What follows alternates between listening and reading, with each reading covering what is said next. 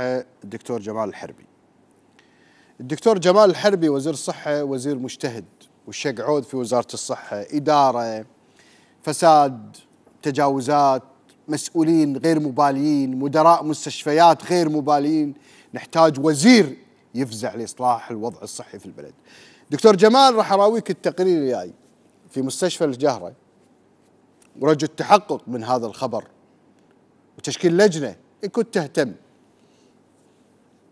صرفوا لمريض سكر حليب من مستشفى الجهرة منتهي صلاحيته.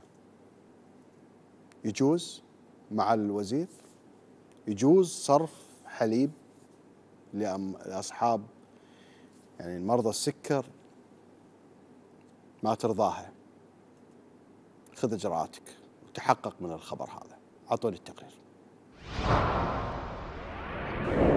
مساك الله بالخير أخوي محمد. هذا الحليب صرف حق أبوي من مستشفى الجهره شوف التاريخ.